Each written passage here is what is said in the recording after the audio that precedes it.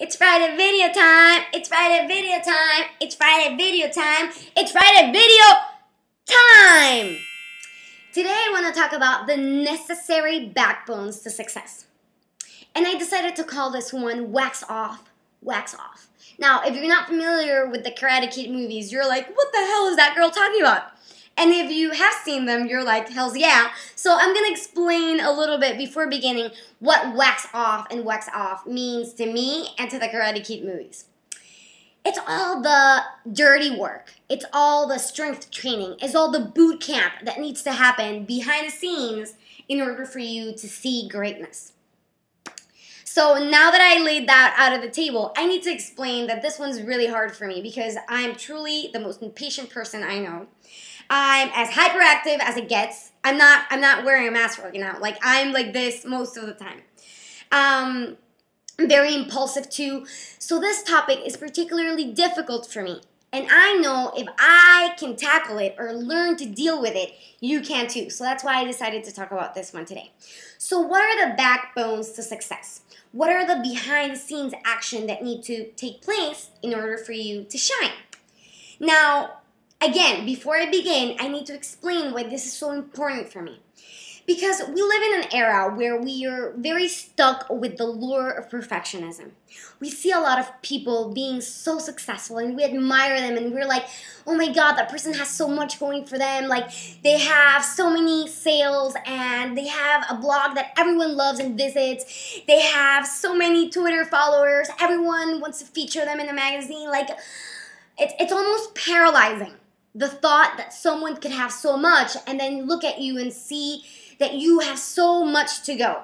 And you see yourself working hard and you're like i want that too. Like what what can i do to get there? Now unless you're paris hilton or harry potter that person worked their butt off to get there.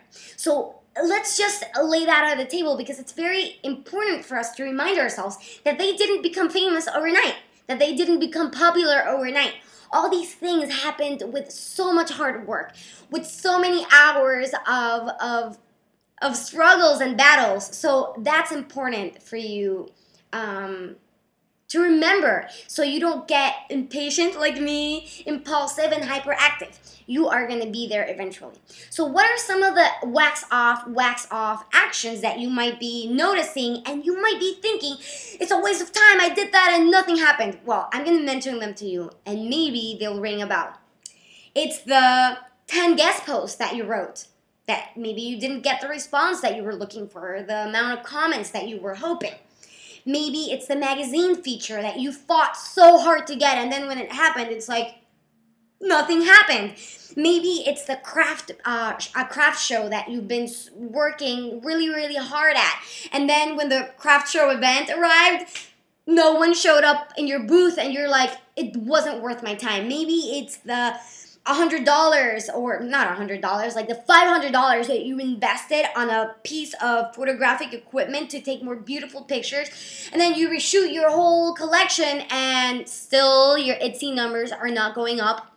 By the way Etsy parentheses Etsy please if you're paying attention get rid of that Etsy number. It's ridiculous. It doesn't make any sense and it makes us self-conscious and insecure so get rid of it. Okay back to today's topic Maybe it's the work of art that took you a month to do.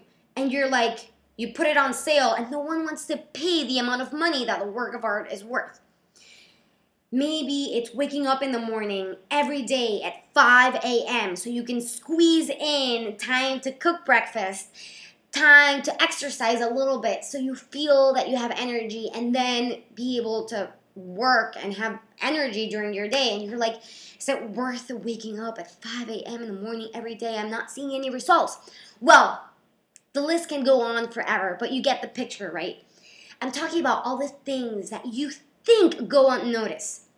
You're thinking that no one's paying attention. You're thinking that no one cares. You're thinking that ugh, why wax off wax off? And, and you're just tired and burned out and overwhelmed well, I have news for you.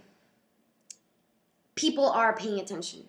Somewhere, somehow, in a place far, far away, or your neighbor is looking at the stuff that you're creating. Maybe they're not telling you that they are, but someone in this day and age, they're seeing what you're producing. Hang in there. This is the toughest, toughest part. I'm reading a book by Seth Godin, I mean, my goddess. My, not my goddess, my, the god of all time. It's called The Dip.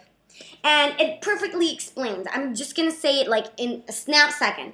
It perfectly explains that at the beginning we all start with this momentum, with this energy to fight it all. And then we all reach these dip where we're so frustrated. Well, if you surpass that dip, if you survive this period, it's it's undeniable that you're gonna be up here. So hang in there. It takes time to build a brand. It takes time to find your voice. It takes time for people to recognize how great you are. It takes it takes time. So just remind yourself that everything you do, all the work that you put out there, everything that you say matters. So the overarching conclusion that I want you to grasp before saying goodbye is not to let loose. This is the hardest time. And if you survive it, you're going to be in the in, you're going to be part of this tiny minority of people that are so passionate and love so much what they do that they got up here. And that's where I want you to be. So hang in there. I'm holding your hand and I'm cheering you all the way. Wax off, wax on until the end.